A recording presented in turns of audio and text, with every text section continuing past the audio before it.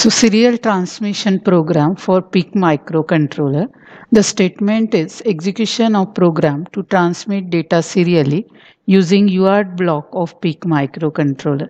So we are going to write a program in embedded C and uh, using this program we are going to transmit a string serially from PIC microcontroller to PC that is desktop computer. On desktop computer we can use hyperterminal software which reads the data from serial port or Tera terminal software. So to transmit a string serially we are going to use RC6 pin of this PIC microcontroller. RC6 is the transmitter pin of PIC microcontroller. So using RS-232, we are going to transmit this string uh, serially and this string will be transmitted to desktop computer where on using COM port uh, will receive that uh, string and that will be displayed on monitor of desktop using hyperterminal software or Tera terminal software or we can use any software which can read a data from COM port of PC. So the program to transmit string serially from PIC to PC, first we have to include this file p18f4550.h depends upon version otherwise you have to replace p by pic then we'll first write a delay program. We need it while transmitting a string. So here one uh, variable i is declared as unsigned integer and this for loop is written here to generate a delay. So continuously it will execute this for loop till i becomes 30000 and it will give us a delay. To write a main program now, a few variables are declared here which we'll use afterwards. And the string which we want to transmit is declared here uh, with name s. And we are going to transmit kkWIEER and Nashik. And dot also we are going to transmit here uh, dash uh, will be transmitted.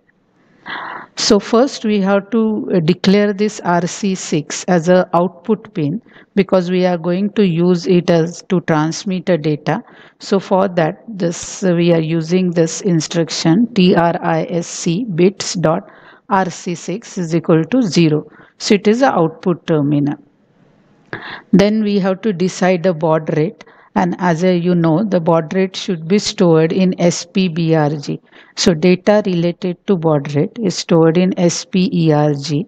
So baud rate we are going to use is 9600 and uh, as per the calculation for 9600 baud rate the data is 4E. So that should be stored in this baud rate generation register. Then uh, we have to initialize this transmitter register. So this is initialized uh, with a binary value. So 0B is written here. Uh, to initialize this register, we are using this asynchronous 8-bit mode transmitter we are enabling and using the speed as a low speed. Then we'll read a data from the string and that will be initialized with variable data. So we have used here a for loop as per the number of characters you can change this value count the characters which you want to transmit and store that digit here.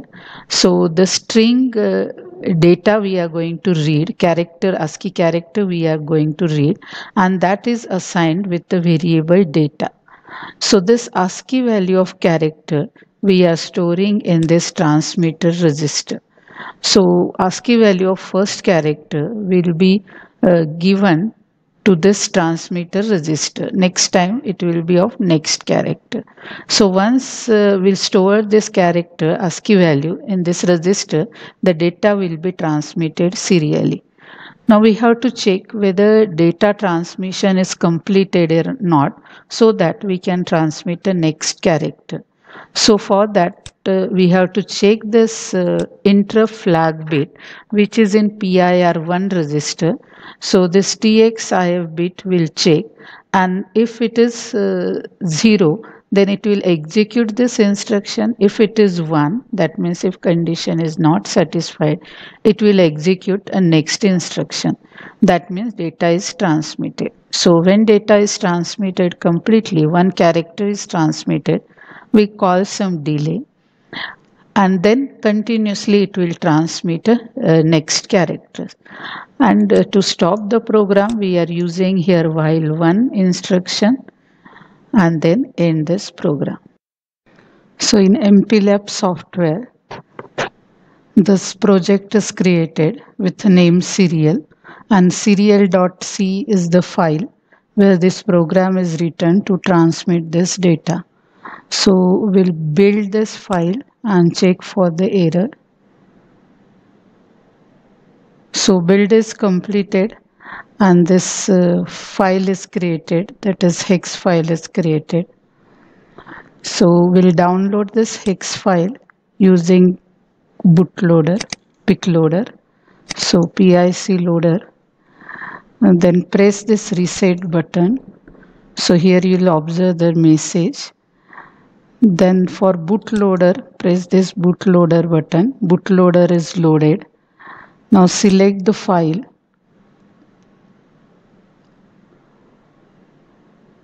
So this is the hex file. Select this file and press this write device. So file is written. Now first switch off this, close this uh, program that is bootloader program and then in Tera Term software we'll observe this output. So open Tera Term software click here on serial communication and select the COM port. So COM12 uh, is used to connect this. Press on OK. So when I'll put this reset button, you observe the output string here.